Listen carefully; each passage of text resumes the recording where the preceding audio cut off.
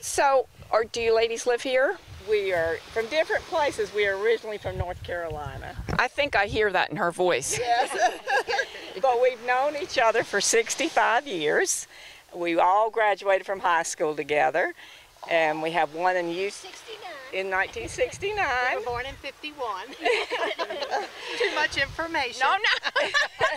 Absolutely not. It's and wonderful. we try to Yeah. meet every year. And we've got two people that live down here now. So we, we Kinda come here. them. We've gone to the Outer Banks. We've gone to Williamsburg. We, we try to meet every year to get oh, together. that is wonderful.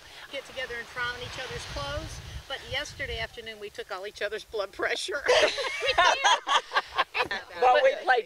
But we played pickleball yesterday. Good for at a you. Pickleball in clinic. a clinic, and every With one of us can play. guy. Oh, He was really cute. oh.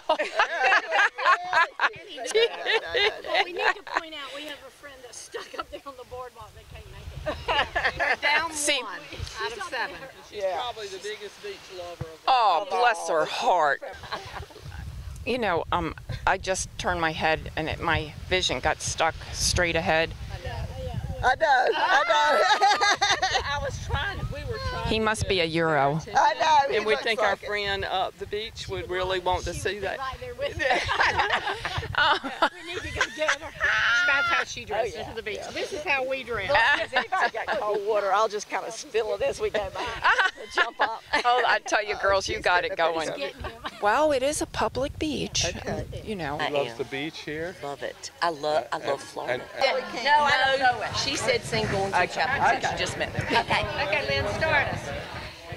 Going to the chapel and we're